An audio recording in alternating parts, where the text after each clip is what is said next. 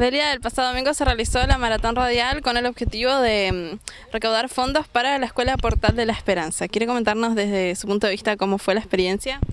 Bueno, por suerte ha sido una linda experiencia que colmó todas nuestras expectativas. Este, mm, hemos tenido un día hermoso, la gente acompañó eh, y gracias a Dios hemos juntado una, una linda suma que va a ayudar para la construcción del aula o el cerramiento del patio, pero estamos contentos y bueno, agradecer a toda la comunidad que nos acompañó y agradecer a la radio que festejó de esta manera su cumpleaños colaborando con nosotros, así que muchísimas gracias. Bueno, en cuanto a la suma de dinero que se pudo recolectar. Bueno, eh, nos habíamos pensado en un principio en, en 10 mil pesos, así que hemos llegado a Dios gracias a esa suma.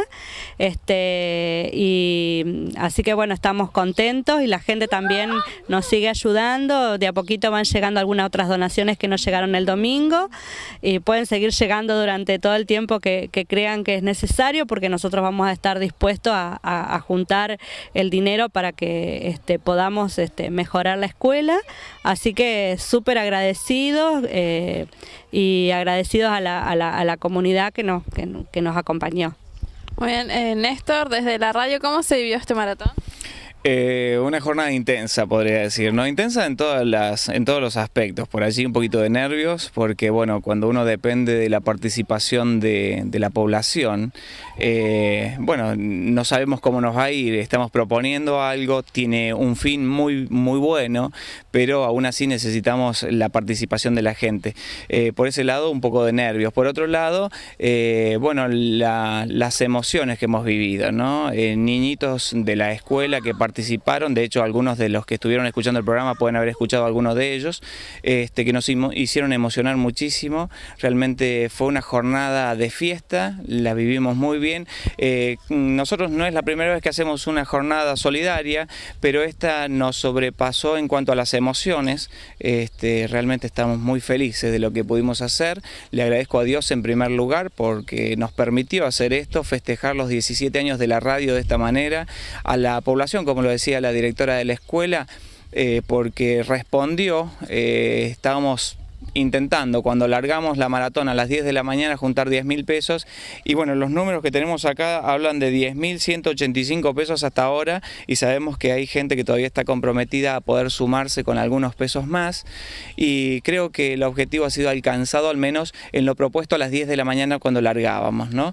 Pero mm, eh, realmente estamos muy felices, muy felices, creo que los chicos, las docentes merecen esta ayuda, esta colaboración y quiero agradecer al pueblo porque no nos dejó solos, era un fin de semana largo donde había eh, muchos, eh, bueno, muchas actividades, gente que salía, el, Camporí que llevó a muchos jóvenes y personas a, otras provincias y en algún momento lo, pensamos, eh, estuvimos dialogando en base a si era bueno hacerlo o no el 10 de octubre y nos arriesgamos y bueno, Dios nos acompañó y hemos alcanzado este objetivo que es una parte de lo que la escuela necesita. La escuela necesita cerrar el salón que como lo dijimos en una nota anterior, tiene un costo de aproximadamente 14, 15 mil pesos, más eh, el aula que supera entre las dos cosas los 60 mil pesos. Y, bueno, esto es solamente una gotita de ayuda para que la escuela pueda tener este, bueno, eh, sus recursos. ¿no? Eh, hay alguna promesa dando vueltas que no queremos anticiparnos demasiado hasta que no se cumpla, pero hubo alguna persona que se acercó con intenciones de colaborar esta tarde tengo entendido que va a andar por aquí por la, por la escuela, tomando medidas y viendo, eh, con la intención de colaborar casi con el 100% de lo que es la construcción. queremos redondear con ellos primero, pero si eso es así, si se diera esa posibilidad, que le agradecemos muchísimo a esta persona, si realmente se siente conmovido a, desarrollar esta tarea, este otro dinero que se ha juntado eh, serviría para lo que en primer lugar se nos buscó que es la reparación edilicia de la escuela por dentro para poderla pintar, reparar el comedor, sacar unas chapas y poner chapas nuevas, hacer la conexión cloacal de, la escuela, alguna extensión de cañerías de agua que están necesitando. O sea, no termina en la obra en sí del salón y del aula, sino también otras necesidades que la escuelita tiene y que bueno, de esta manera se podría multiplicar muchísimo la ayuda si esta persona definitivamente eh, concreta esta, esta promesa, podemos decir, porque él prometió permitió venir a ver la obra y en base a la obra ver cómo podía ayudar. Así que lo dejamos en las manos de Dios para que pueda, bueno, ayudar, ¿no? Como lo ha hecho otras veces. Delia, tal vez recordar a la comunidad a cuántos chicos se están atendiendo, cuántos son los docentes que están trabajando. Bueno, los chicos son 25 que chiquitos que vienen solamente a las atenciones, pero en total son 25. Eh, tenemos cuatro docentes más el personal técnico y una ordenanza. Nosotros trabajamos acá de lunes a viernes de 8 a 16 horas. Los chicos tienen esta jornada eh, completa, digamos, o doble jornada, porque los chicos a la tarde trabajan toda la parte de los talleres, así que este, esta es nuestra más o menos nuestra modalidad de lo que podemos trabajar. También eh, está abierto la sección de estimulación temprana para el momento que algún niñito de 0 a 3 años necesite y eh, las atenciones que dan las profesionales, que en este caso son la fonoaudióloga y la psicopedagoga. Así que este es, nuestro, es el servicio que nosotros prestamos a, nuestros alumnos y mm, con esta ayuda que hemos recibido de la comunidad el servicio va a mejorar. Eh, a veces pensamos que porque eh, la comunidad educativa es chiquita, eh, necesita menos, pero el esfuerzo es mayor y también hay que este, atenderlos a todos por igual. Así que bueno, esta ayuda, gracias a Dios, va a venir bien para mejorar la calidad de lo que aquí se hace. Delia, como usted mencionó, eh, poder mejorar la calidad del servicio, eh, no solo la, la, parte de edilicia, sino la educativa. Para las personas que están viendo esta nota, que ya conocen de la maratón y quieren seguir sumándose a esto, ¿cómo lo pueden hacer?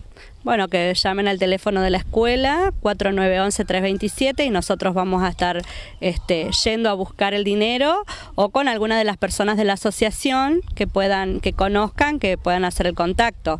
Este, también eh, nosotros tenemos un correo que es este, portal de la esperanza capaz que también nos pueden mandar algún correo ahí bueno este contactarnos con nosotros o con alguna persona de la, asociación. Este queremos agradecer eh, eh, esto ha sido realmente una, manifestación de amor hacia hacia nosotros hacia los niños sobre todo.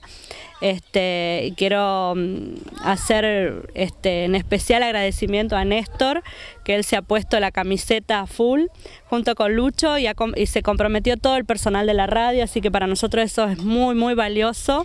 Este, hoy decíamos con, con Lucho que hemos, nos hemos conocido y realmente es verdad, es una bendición para nosotros conocer gente como ellos que, que embarcarse en un proyecto que por ahí como este, nos, nos tenía un poco nervioso, nos tenía un poco a qué vamos, pero realmente ha sido una bendición y ha sido un hermoso programa y hemos cosechado amigos, así que eso también para nosotros es muy importante, así que en nombre de, de, los alumnos, de la asociación, del personal docente que también acompañó, quiero agradecer a la comunidad por este apoyo.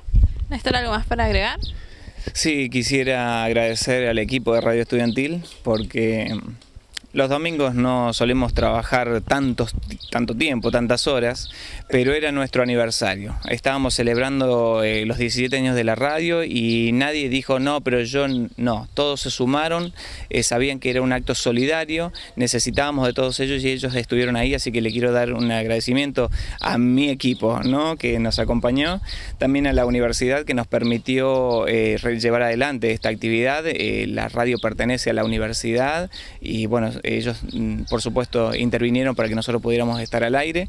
Y también a un grupo de comerciantes que se sumaron con premios, estímulos, como una forma de gratitud a las personas que estaban eh, colaborando. Muchas de las personas que ganaron premios lo donaron a la escuela.